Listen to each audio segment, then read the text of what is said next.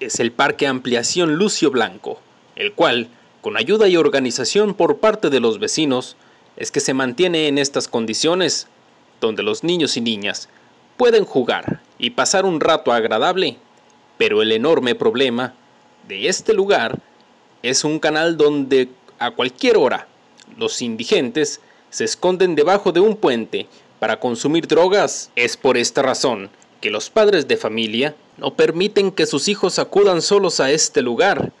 ya que este tipo de personas podrían agredir a los menores, ya que se encuentran bajo los efectos de alguna droga.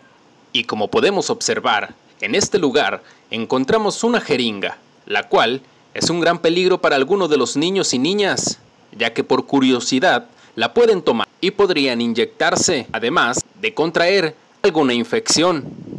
Con imágenes de Antonio Santana, CNR Noticias.